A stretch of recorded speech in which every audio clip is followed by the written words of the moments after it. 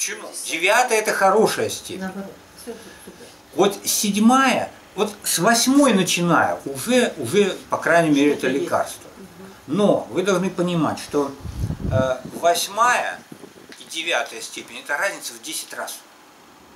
То есть вы купите какой-нибудь там этот биовестин и сравните с цидофилюсом. И получится, что вам нужно 10 капсул биовестина вместо одной капсулы ацидофилюса.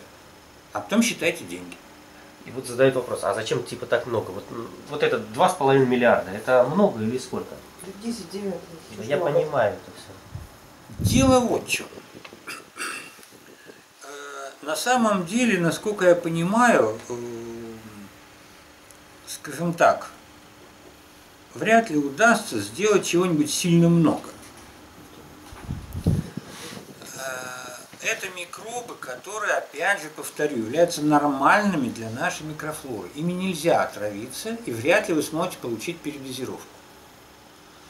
Вот недодозировку – это запросто. А, При этом дальше есть такая вещь. Вот вы приняли столько-то, этого маловато будет. Приняли больше, этого маловато. Приняли еще больше, этого достаточно. Приняли еще больше, эффект лучше уже не станет. То есть все, больше вот этого, а, некой вот величины, это будет просто-напросто потраченные деньги. Да, вы можете съесть там, допустим, банку ацидофилиса всю за раз. Но эффект вы получите как от одной или двух капсул. Оно вам это надо? То есть от одной-двух капсул получить точно такой же эффект, как от банки. Она должна быть растянута по времени определенной дозы. И поэтому вот эти вот все дозы, они, в общем-то, подобраны вот по такому принципу. Просто больше не надо.